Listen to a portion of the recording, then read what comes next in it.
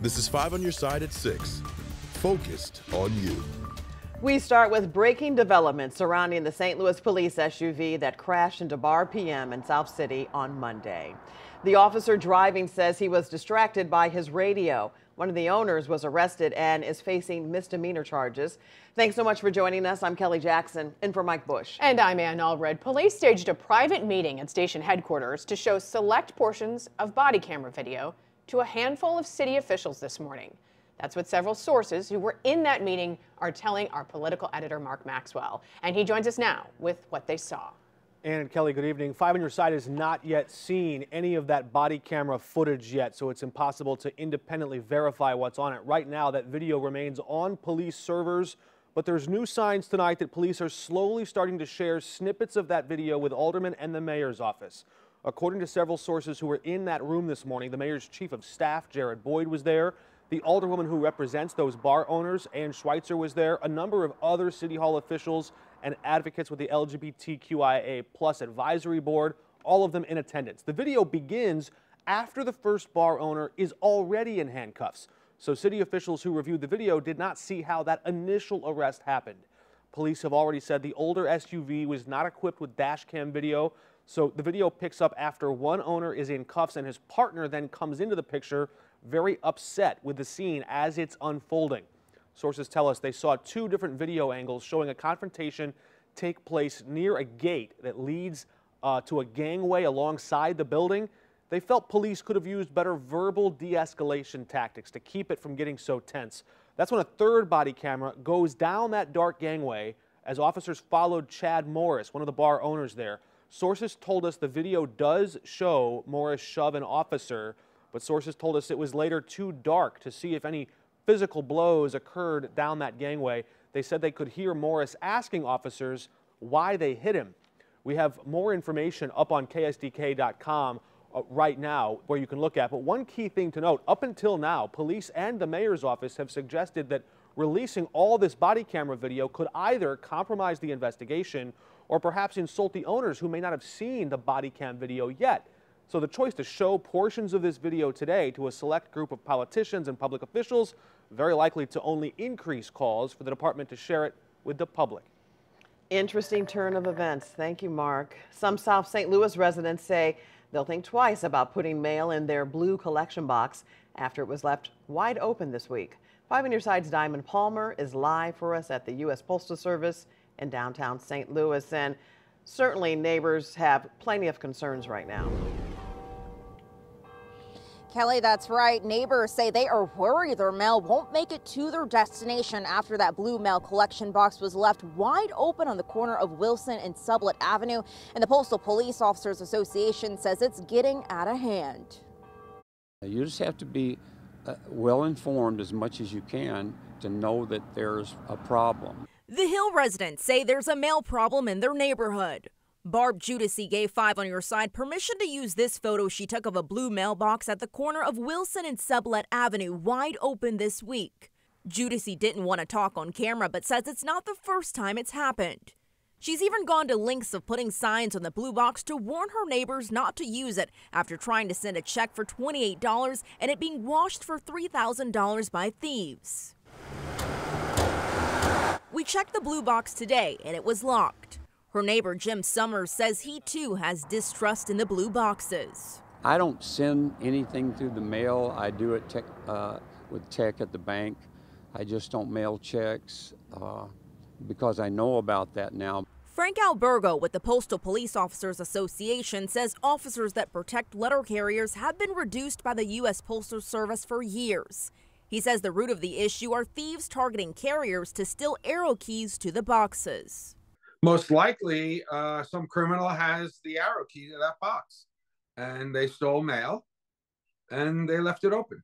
The U.S. Postal Service says in the first half of 2023, there were 25,000 mail theft incidents. Albergo says it puts people's personal information at a greater risk, especially during the holiday season. So whoever mailed a letter in that box, um, it's gone now. If it were a check, then they have a problem because that check is going to be washed or counterfeited and it will be cashed. We as people in the community uh, have to be involved as much as we can. and pay attention and protect our neighbors, watch what's going on.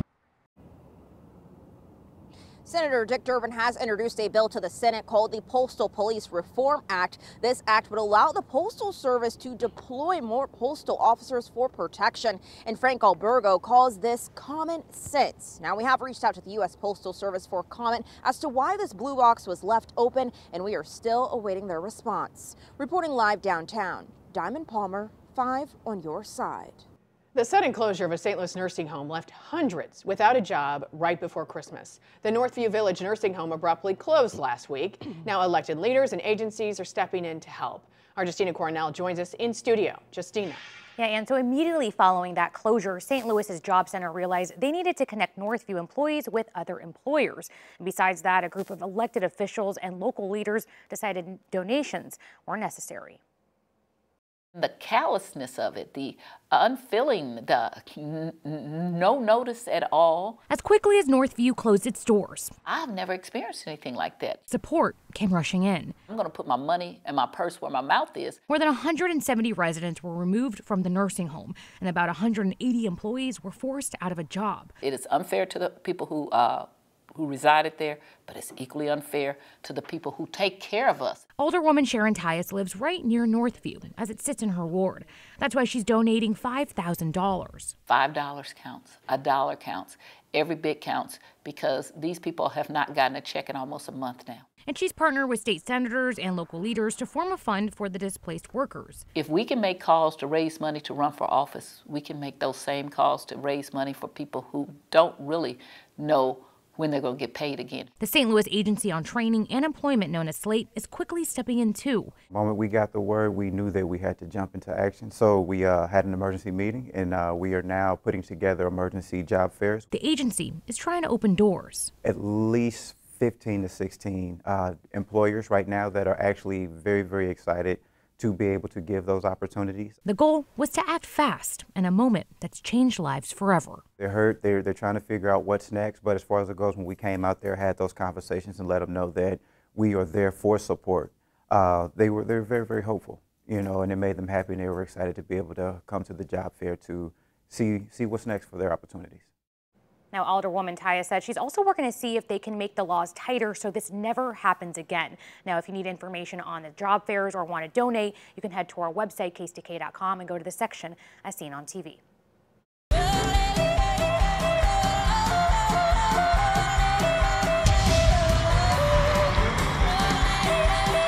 We know that yodel from a four-chair turn to first runner-up. Foley native Ruby Leigh is back home after a spectacular run on The Voice, the 16 year old self taught singer landed at St. Louis Lambert International Airport just a short time ago. And of course, she got quite the welcome when she arrived. Laura Barczewski's live at the airport. Laura.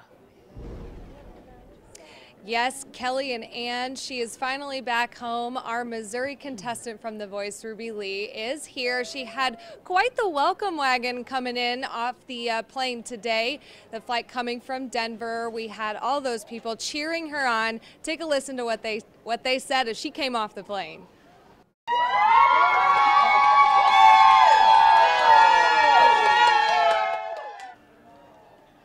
Not much for words, but lots of woos as she came off the plane tonight. And I have a special surprise for you all. Ruby Leigh is here with me right now. She is so excited to be home. Ruby, tell me, you know, just how happy you are to be here and, and how great this whole experience was. Um, the experience was so amazing. It was one of those things where it's just kind of like, would I even be able to get on the show? And then I did. And then, like, to be there and be there for so long. I mean, I may not have won, but I definitely feel like a winner.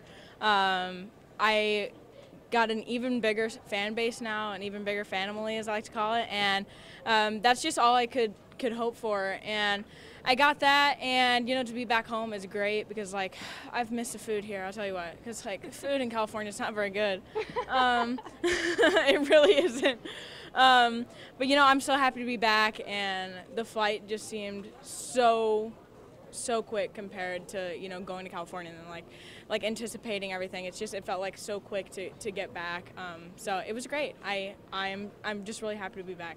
And what did you think about all the people here to say hi to you, welcome you home? I mean, how much does it mean to have their support, you know, through all of this and still? you know, it means a lot to me. Um, like as soon as I got off the plane, I had some some flight attendants and, and people that were getting ready to board the next plane that were like right there, and they're like Ruby Leigh, and I'm like, yeah. I look horrible because I was on like the longest flight, but um, yeah, I. It's just it means a lot to me. It's great to have people that support me and like care about me. Like people I've some people I've never even met that are just like I was voting for you this whole time. Um, it means a lot to me knowing that. Um, you know, there's just these people that I never met, some that I may never meet, um, that are just behind me, and you know, it means a lot to me. So I'm I'm really happy to be back here and be surrounded by people that that care about me. Well, thank you, Ruby. You're a winner to us, even though you may have been second place on the show. So we will have more coming up tonight at 10, and we'll bring you all the latest and get a little more sneak peek into everything that happened after the show. All right, Right Laura, hold on. Can I ask one question Laura of Ruby? Barczewski. Oh, yes, yes. I know her dad was and with what, her. What do you, what do you want to ask? Her dad was with her every step of the way. It had to be so stressful, so many ups and downs. What's the best piece of advice her father gave her during all of this? So Anne wants to ask you what the best piece of advice your dad gave you throughout all this. He was with you the whole way. Um, just kind of to to believe in myself, put my faith in God, and you know everything happens for a reason. It's not, you know, just because I didn't win doesn't mean that I didn't win. You know, um, because I, I definitely won, and I I feel really good about it. And he was just uh, coaching me through the entire time, just like don't worry about it, like just get up there and sing. Like it's about singing. Like you you've done this a million times before. It's just it's the exact same thing. You know, they're just people. So I was like you know, okay, and it, it calmed me down a lot. So, um, you know, I I would say that, you know, just kind of be yourself, don't worry about it, and, you know, I made it as far as I did. So, I mean, I guess it helped out quite a bit. well, thank you, Ruby. Anything else from you guys back there in the studio? We No. do have We'll it, but leave we're it out of time. Yes, so. and congratulations to her. She is a winner. yeah, a huge accomplishment. More She at is 10, winner. more at 10. Thanks, you guys. Boy, oh boy, I can't wait to see the future. Still to come, thousands of cameras monitoring the streets of St. Louis day and night. We'll take you inside the real-time crime center. Y'all can send her her questions. Just text Laura. that is true. Well, I've got a lot of questions. We'll find out at too. 10. Hey, weather-wise, you want to know what's going on? I got news for you. There's a lot of rain in our forecast, but we're spreading it out over a few days. See you in a couple of minutes.